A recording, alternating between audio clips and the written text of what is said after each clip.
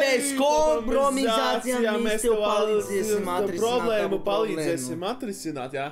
Mēs palīdzēsim. Palīdzēsim, visticamāk. Pagaidām, mēs reāli esam kādam palīdzējuši līdz šim, vai mēs vienkārši tur mums komentāros tur saka, beidziet apsmiet, bāri! Bet man liekas, Komentāriem ticēt nevar. Esam... Jā, komentāri ir komentāri, Jā. tikai te nav īsti cilvēki to dators Jā. uzraksta. Tieši tā. Mēs nu- nu, paši sev rakstām šos Jā. jautājumus. Tur reāli taisa vaļā. Tātad, ko es sev uzrakstīju e-pastā šodien? Tātad. Sveiki, veči, man ir problēma. Nu, visticamāk, tāpēc arī tu raksti, ka tev ir problēma. Nu, ko mēs saprotam? Es pārgulēju ar draugu, beigās pārplīsa prezis.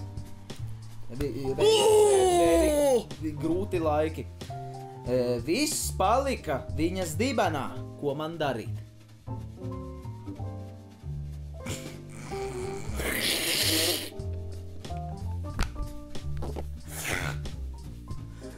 Pirmkārt, jā, jautājums, kāpēc tu velc prezi? Ja tu... Ja dibenā, jā, Jā. Nu, varbūt vienīgais iemesls, ka viņai tad varbūt ir kāda slimība. kakas. Jā, varbūt tev no kakām bail. Bet skaties uz to no šādas puses. Ah, nē, es neticu, ka mēs tiešām uz šo atbildēsim. Bet mēs tagad. atbildēsim, jā. Jo mēs palīdzam citiem. Ej, ja kādam nepatīk šī tēma, slēdziet, Slēdziet ārā, tūlīt pat. Slēdziet Mēs ārā, tūlīt pat. Slēdziet ārā tagad.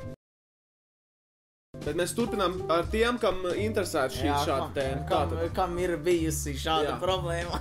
Tātad, eh, pro- skaties, pozitīva lieta ir tā, ka, ja, ja viss paliek, kā saka, dupsī, jā, Dubs caurumā. jā tad, tad tev nav par ko uztraukties, jo, jo tu sievieti var apaugļot tikai tad, kad uh, viss, uh, viss produkts Čuram caurumā. jā, nonāk. nonāk uh, Čuram caurumā. caurumā. Jā. Tāpēc tev nav par ko uztraukties Jā. tagad. Dubs caurumā nekas nenotiek. Bet, ja Tur tas būtu noticis dabiskajā veidā, kad nu, viss notiek caur čurām caurumiem, Jā. tad es pateikšu, kas tev būtu jādara. Ej, tad 24 stundu laikā vai arī 3 dienu laikā var šo pilu. Tad tev Nu. būtu šis jādara. Nē, paga, vēl līdz tam nevajag. Vēl var nopirkt to pilu. Jā, tu, tu, paga, viņa strādā uzreiz. Viņa strādā uzreiz. Man liekas, dienas vai trīs dienu laikā maksimums. Ja pēc trīs dienām es varu kļūdīties, ka nu par termiņiem, varbūt 24 stundu laikā tikai darbojas. Vot, jāizdzer un tad ir jācer. Ir 95% eh, šitas ten. eh, Iespējamība, ka viņa eh, Jā. nepaliks stāvoklī izdzerot šo pilu. Bet, ja tu nepaspēji, Bet, ja nepaspēji, Nu, vai nav. te, tu esi bamarīgs, tev nav naudas, jo šīs tabletes ir tad dārgas. mēs reāli mēs nereklamēsim, bet lūdzu, lūdzu.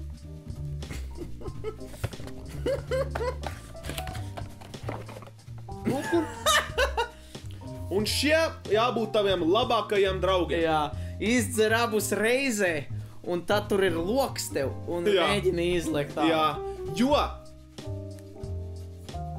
Nu, vienkārši tas tev jādara, ja tu negribi ā, pēc tam audzināt bērnu. Jā. E, bet šis ir pirms kāds tur svīst atkal komentāros. Mums nekas nav pret bērniem. Jā, mums nekas Šis ir reāli sarkasms, šis ir humors. Jā, saprotiet? šis ir šis domāts- nav nopietni. Jā. Mūsu kanāls nav nopietns Jā. kanāls. Tāpēc jūs te nedomājat, ka mēs, oi, mēs tur atbalstam, ka pamet māmiņas. Jā, jaunās. un mēs Nē. atbalstām alkoholu. Nē, mēs reāli esam debīlismu uh, Atbalstītāji, atbalstītāji, jā. Bet, bet nopietni, nopietni. Tev nav par ko uztraukties, Tev ja tu pabeidzi vi, viņas Jā. dubšu caurumā. Dubs caurumā, jā. Tad nekas nebūs. Šis ir iespējams viens no apslēpti Jā. vulgārākajiem videoklipiem, kāds kanālā ir bijis. Varētu būt, jā. Bet tiešām šis var Bet palīdzēt. šis var palīdzēt.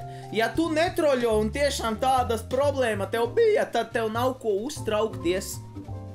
Cerams, ka mēs tev palīdzējām. Cerams, jo, tiešām. jo mums liekas, ka mēs tev palīdzējām. Jo Man liekas, nav ka reāli palīdz. ko palīdzēt. Jā, tu vari nav uzrakstīt Google. To pat What jābūt. happens if I finish in her ass? Jā, viss ir. Viss ir, viņi teiks nothing. Bet tā tad mēs pieļaujam, ja tu mums uzdod, tad tu mūsu reakcijas gribēji redzēt un mūsu jokus dzirdēt. Nu, mēs to arī iedevām. Jā, šis iespējams arī ir viens no pretīgākajiem videoklipiem, kas var būt kanālā. Šis. Piedodiet, bet nu, mēs palīdzam cilvēkiem. Mēs palīdzam. Ja tev ir palīdzība nepieciešama, nu, paprasti Prasi pa priekšu doktoram draugiem. Jā. Kasparam un doktoram Norbertam. jā, jo šis būs tavs pēdējais risinājums. Jā, mēs tev palīdzēsim. Spiediet laiku, ja jums patika. Ja nē, nespiediet neko reāli. Ejiet bezdēt un neko nedariet. Jā, viss ir kanāls beidzās šodien. Kanāls beidzies. Par daudz heiteru. Es nespēju izturēt šo sienas spiedienu. Spiedi. Spiediet! Es nejūtu sen spiediet! Es jūtos sien spiedienu. Es jūtos sien spiedienu. Es jums parādīšu, kā vajag dzert. Redziet, ieciet iekšā un dzeriet. Es esmu stulbs. Game face! Sveiki, skatītāji! Esam klāt jau ar trešo epizodi raidījuma Gameface otrajā sezonā. Ziņās jūs uzzināsiet par Elder Scrolls 5 Skyrim uzlaboto versiju. Top 5 visgrūtākie video spēļu bossi!